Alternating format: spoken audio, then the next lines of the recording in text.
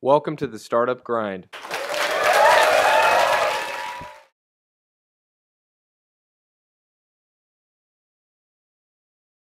Grazie Maria.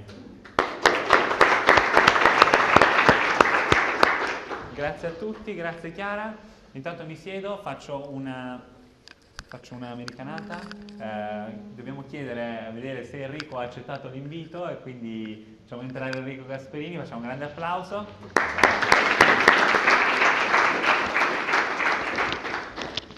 Eh, mi sento tanto Maria De Filippi, però ehm, ha accettato l'invito, quindi è qui con noi ehm, e iniziamo con una domanda un po', uh, un po startupara. Partiamo dicendo qual è il tuo pitch, il pitch di te stesso, quindi di Enrico, in un minuto. Proviamo a vedere cosa, cosa ci riesci a dire in un minuto di, di te stesso.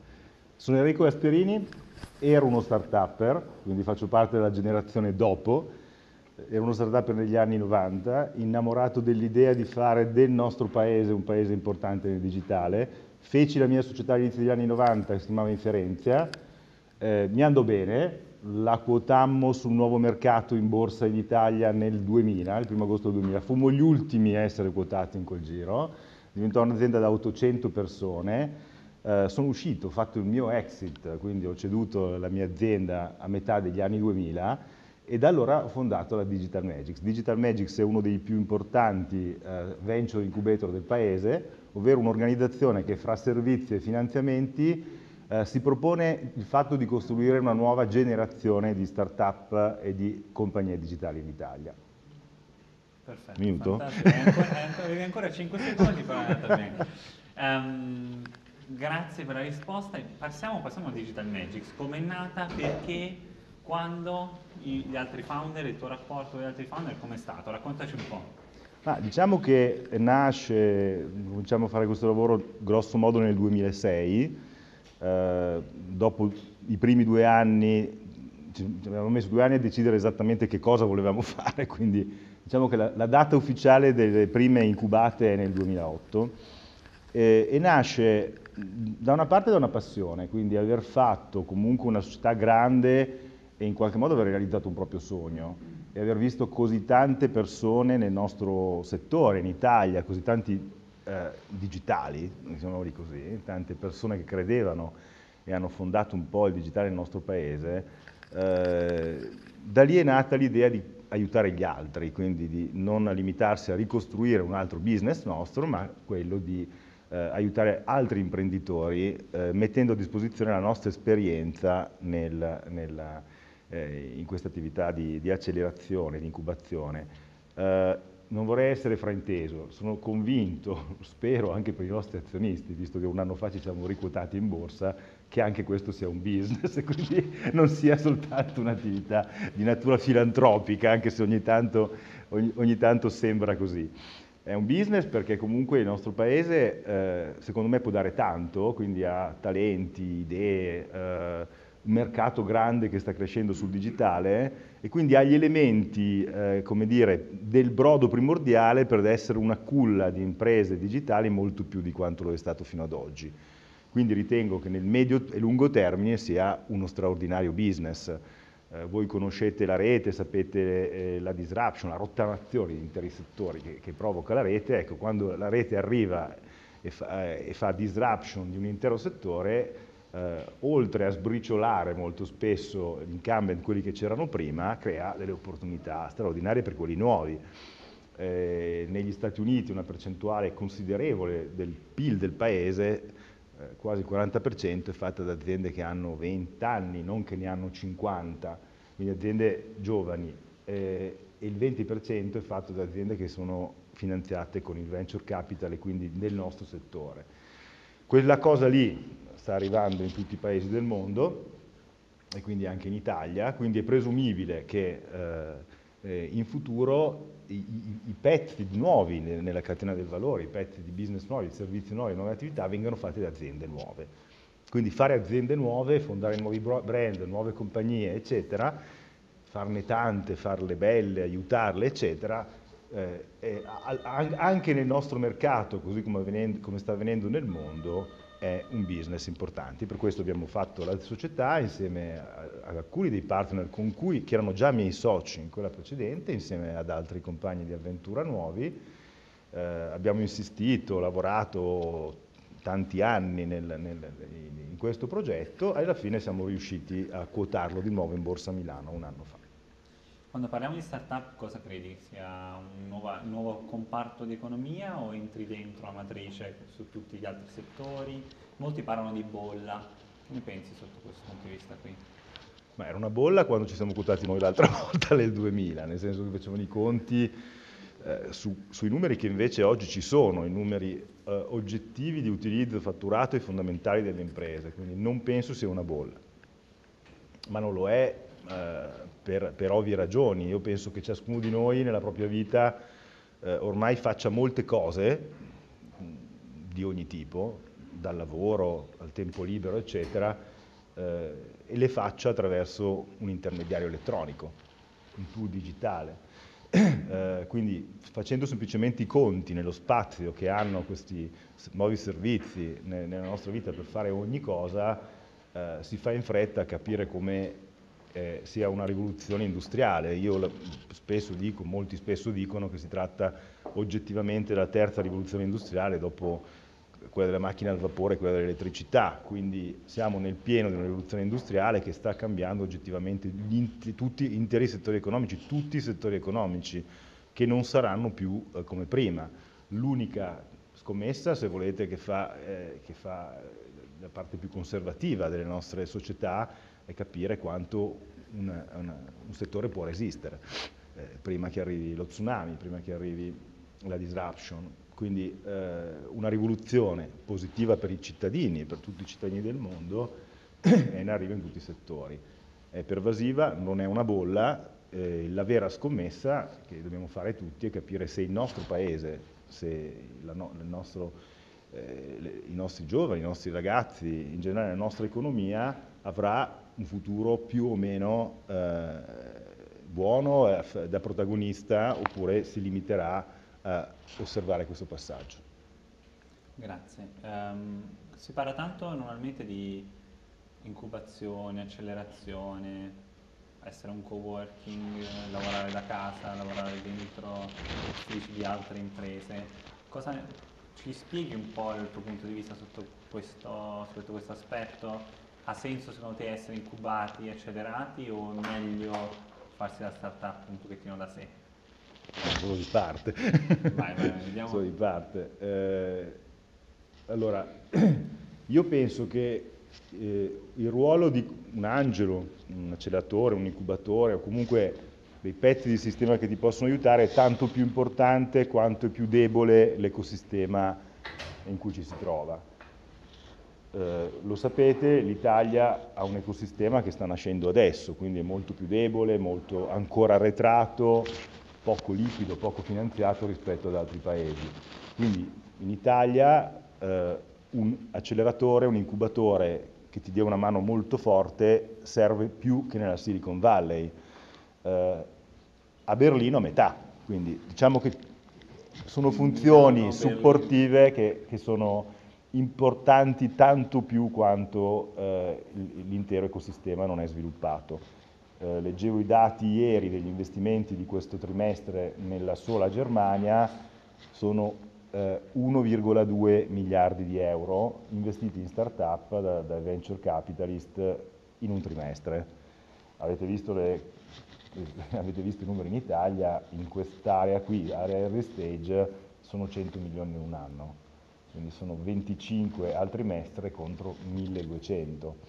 Ora è chiaro che oppure vi, vi do un altro numero che vi dà l'idea della distanza, non da San Francisco, da Berlino, quindi stiamo parlando di una cosa che comunque è a metà strada e eh, no, il nostro incubatore è il più grandicello come dimensioni, come investimenti che c'è in Italia, ha una market capitalization, cioè un valore in borsa di 20 milioni, il nostro concorrente, chiamiamolo così, si può chiamare berlinese Rocket, vale 5 miliardi in borsa. Questo dà un'altra idea della, della, della, distanza insieme a quella degli investimenti che oggi ci separa.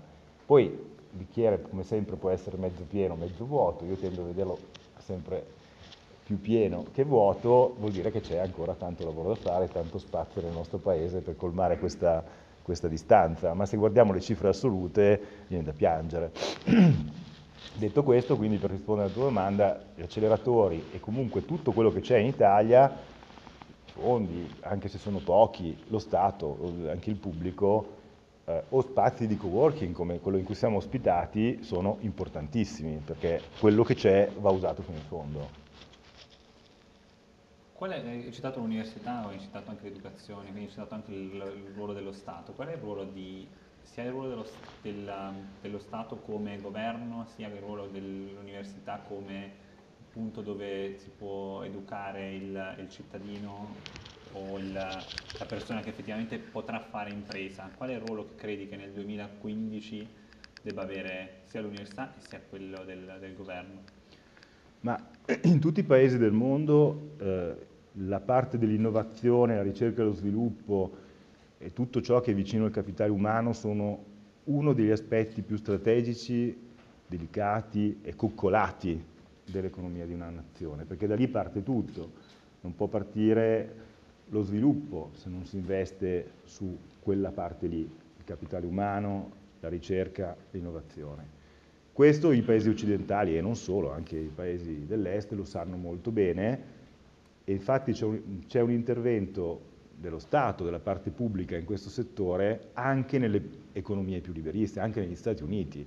Non dimentichiamoci che pezzi importanti che oggi utilizziamo tutti non sono stati concepiti inizialmente in start-up private, ma vengono comunque da ricerche finanziate dalle agenzie dello Stato americano.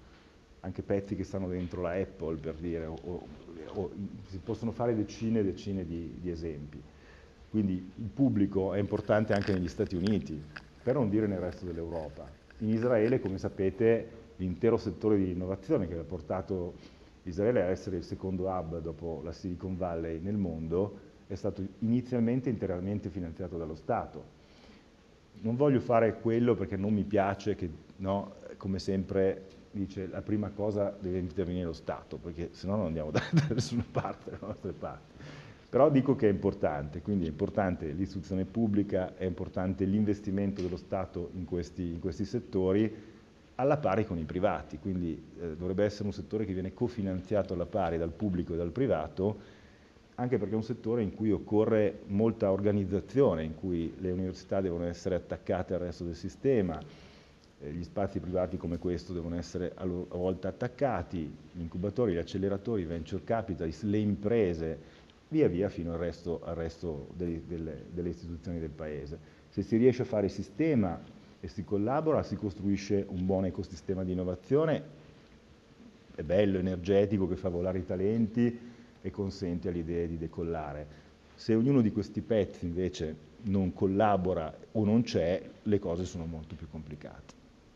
Parlato di talenti, e quando si parla di talenti basta, si pensa molto spesso a Google, Facebook, tutte queste grandi start-up, o meglio, grandi imprese ormai americane, che fanno tanto hiring, quindi fanno tante acquisizioni solo per prendersi le persone che sono dentro le varie start-up.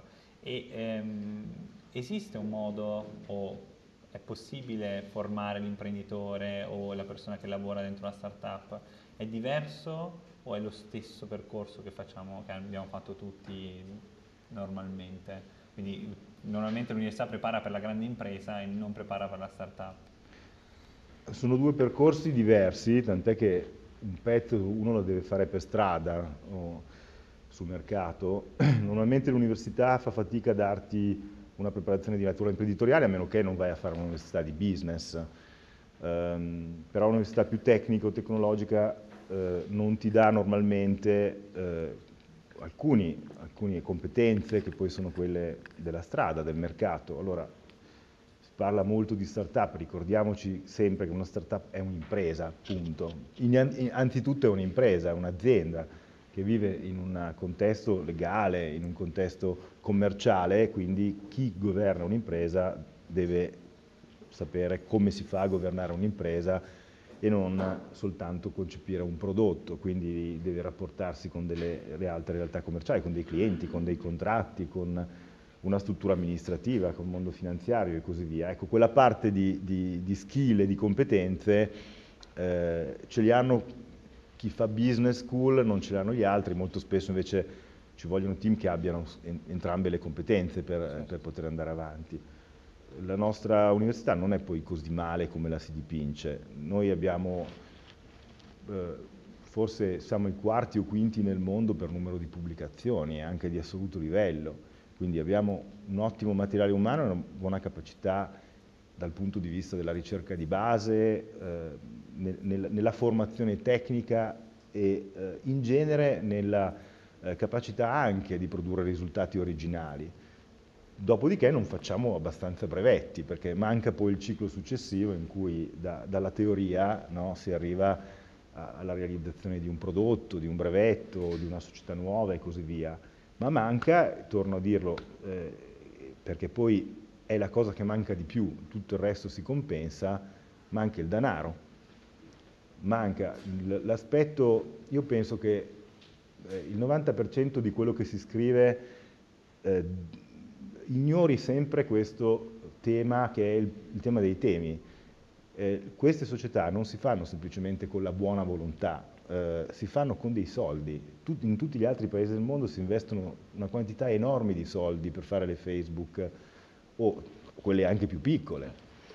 Questi soldi servono, servono per conquistarsi uno spazio nel mondo, nel mercato, per pagare i primi anni di spese, per uscire, internazionalizzare, globalizzare l'impresa o semplicemente per portarla al break-even nel nostro paese. Uh, quello che dobbiamo fare è trovare un modo perché questo business sia conveniente per tutti, per gli investitori, siano pubblici che privati, perché secondo me lo è, e far capire e costruire un sistema uh, finanziario che sia in grado di sostenere eh, un ecosistema di innovazione. Oggi il nostro paese è molto indietro soprattutto per quello, non per le altre cose. Le altre cose non mancano. Quindi parliamo di, parliamo di cose che mancano, quindi proviamo a vedere cosa, tu dici che le cose non mancano, quindi nell'ecosistema italiano a parte i soldi tutto il resto esiste. Io sono se abbastanza fosse, convinto. Se fosse una cosa devi scegliere che da rafforzare oltre ai soldi, che quelli in questo momento non ci riusciamo, Cosa potrebbe, cosa, quale sarebbe la cosa che potresti, vorresti rafforzare dell'ecosistema delle start-up italiano e degli investitori, quindi tutto questo ecosistema che, abbiamo, che si è creato negli ultimi anni? Beh, allora, eh, un'azienda eh, ha bisogno anche, come dire, di eh, alcune vie facilitate, soprattutto su un'azienda che si occupa oggettivamente di innovazione, io mi occupo di digitale, ma questo vale anche per altri, per altri segmenti di mercato, eh, un, un'enorme semplificazione di tutto quello che un'azienda per vivere deve fare.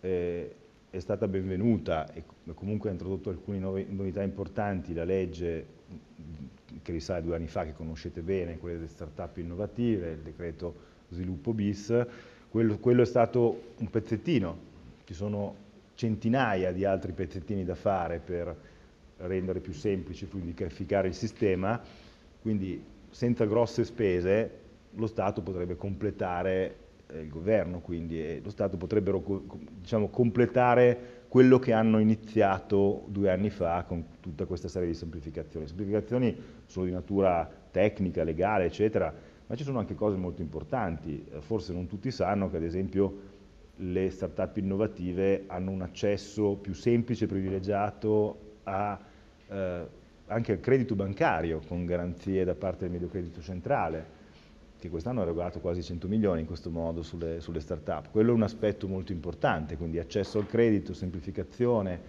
eh, possibilità di usare degli strumenti finanziari, equity in maniera più semplice, quindi poter dare le stock option a chi ci lavora eh, e si potrebbe fare molto, molto di più ancora. Eh, questa, quella è una parte che sicuramente andrebbe fatta per agevolare l'accesso, ma ce ne metto anche altre. La pubblica amministrazione è un grosso cliente no? di tecnologie. Eh, per come sono fatte oggi eh, le, le, le, gare che assegnano a, a società digitali, le, le, commesse dello Stato, praticamente l'accesso per le piccole è quasi, è quasi impossibile.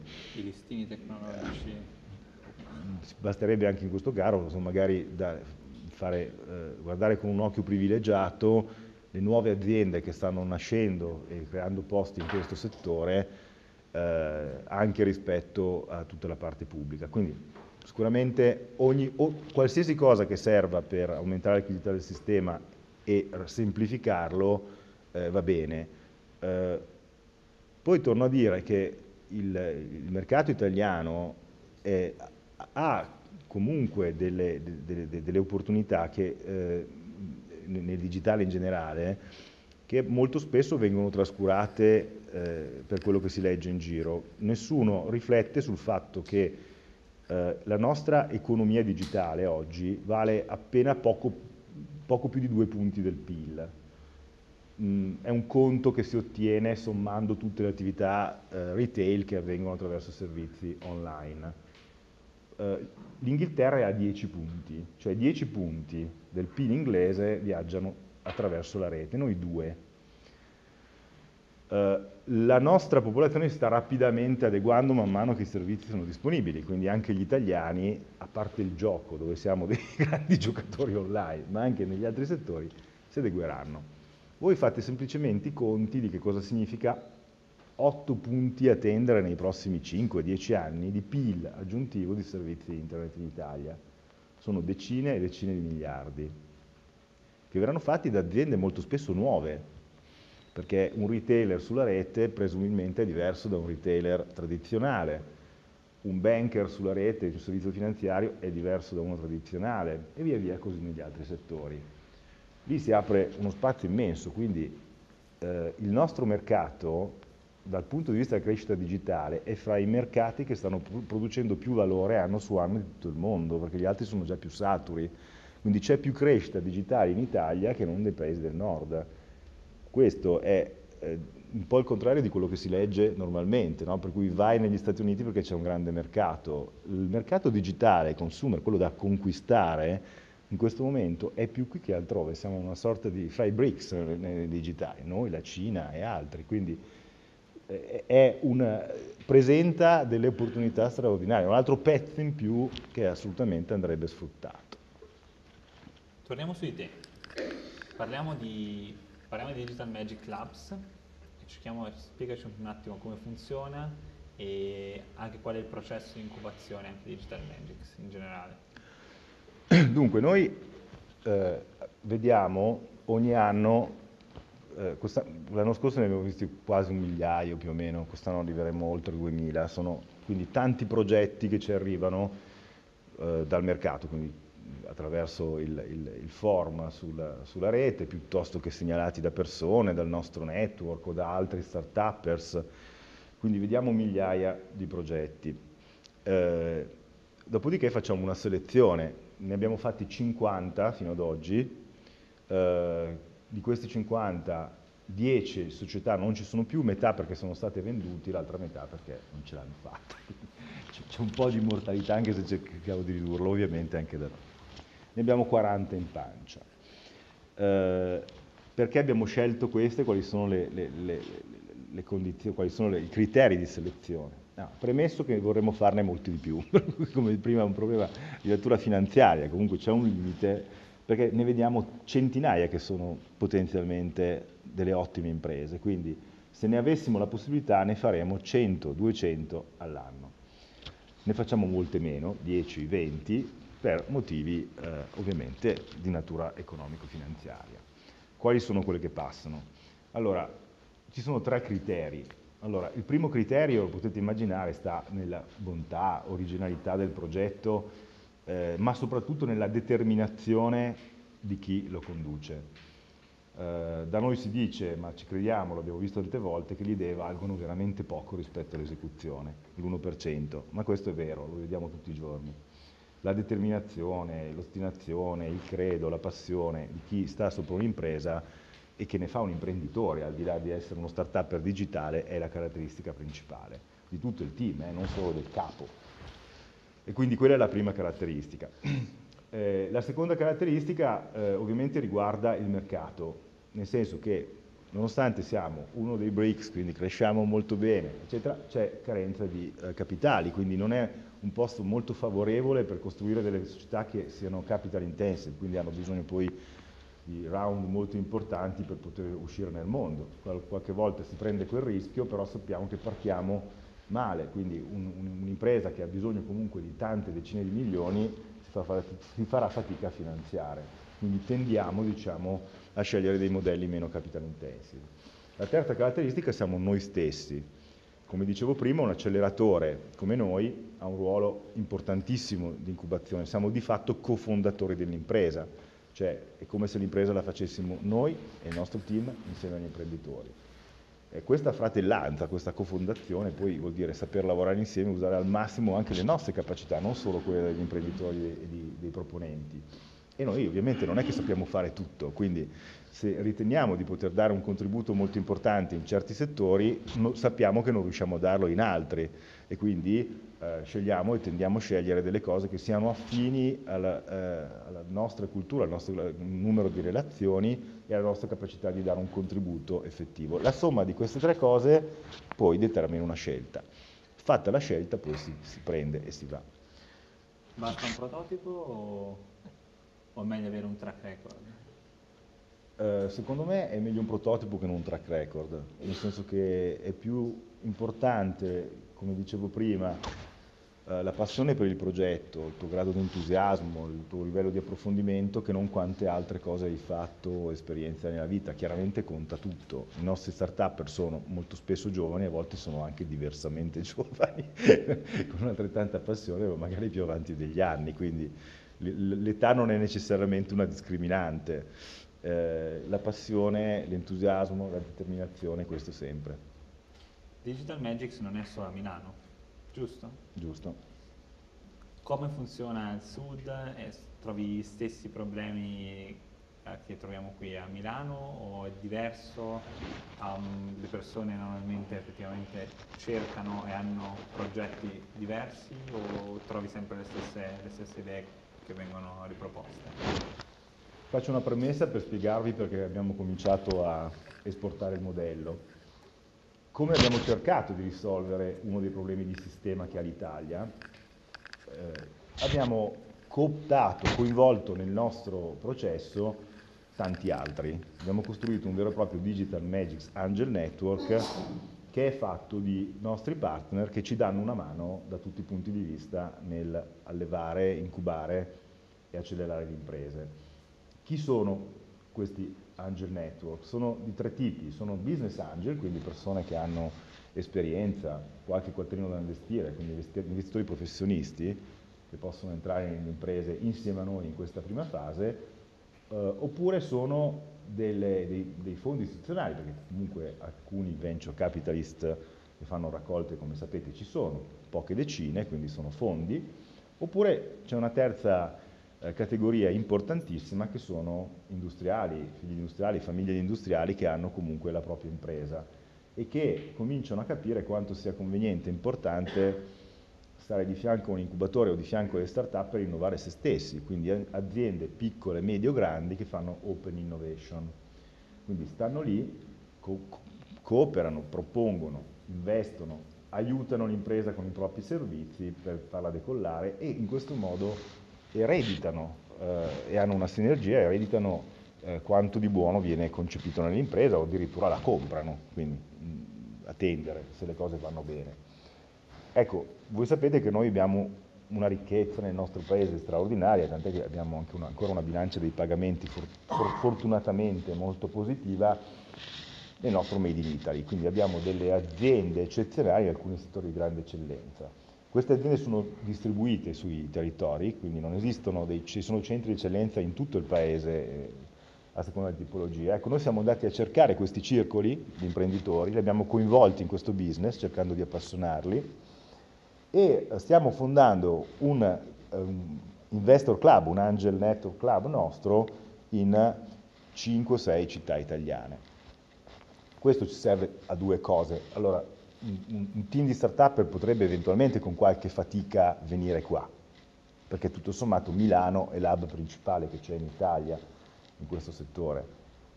è più difficile far spostare il resto, cioè la struttura economica di sostegno che può aiutarti. Quindi a un certo punto abbiamo, prima venivano tutti qua, poi abbiamo deciso invece di andare da loro.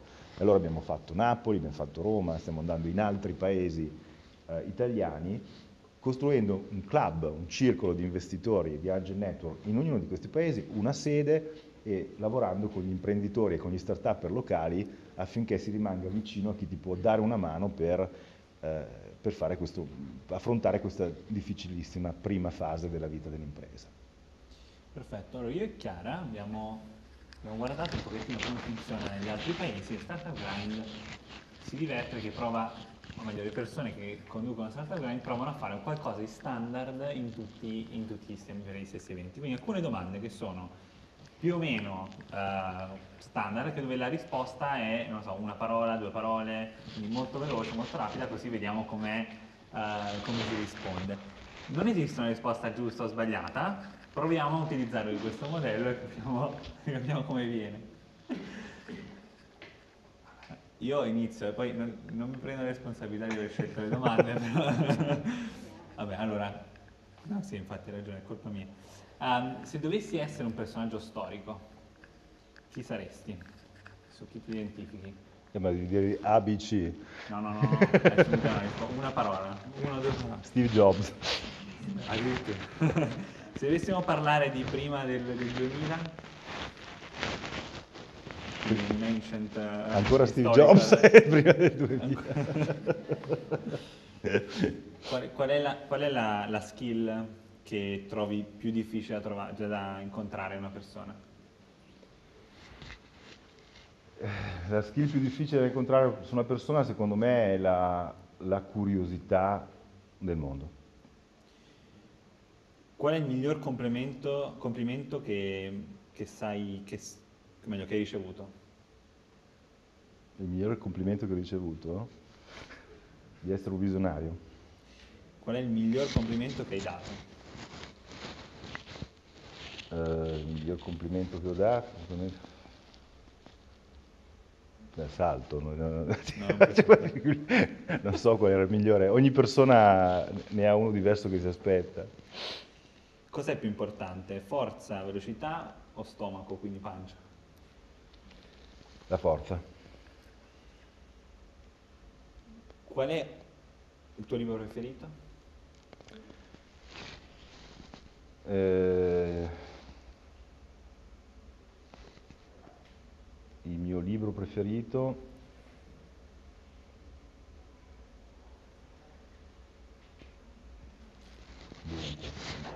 mi cogli impreparato, ne ho tanti. Eh, un paio. e... Piccolo Principe.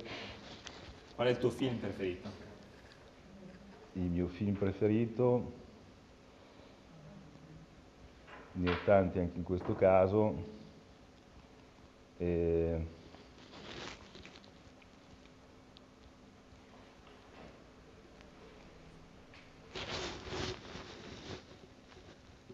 dunque,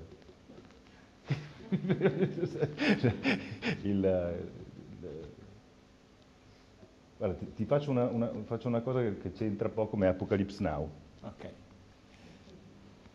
Qual è la tua stagione preferita? La primavera.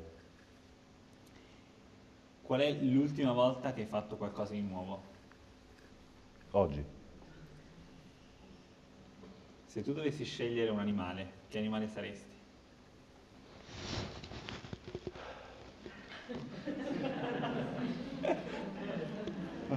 La pantera. Se tu dovessi essere una persona vivente adesso, chi sceglieresti di essere? me stesso.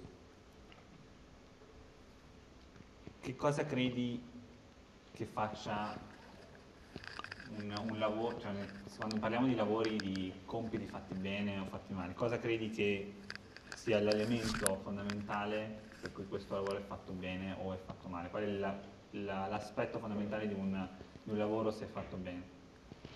La passione, dunque l'hai fatto. E io sono arrivato, arrivo all'ultimo qual è l'oggetto che hai, quindi che possiedi, che non daresti mai o che non venderesti mai? Che posseggo, che, che ho tra i tuoi, gli oggetti che hai in casa, ufficio, qual è l'oggetto che non venderesti mai a nessuno per nessun prezzo? Oddio, no, non sono materialista. Lo smartphone, no? L'iPhone. E faccio, io faccio l'ultima e, e poi mi chiudo e lasciamo le, le parole, la parola al pubblico. Cosa vuoi fare da grande? Tornare a essere bambino. Perfetto. Io intanto farei un applauso a Enrico per aiutato.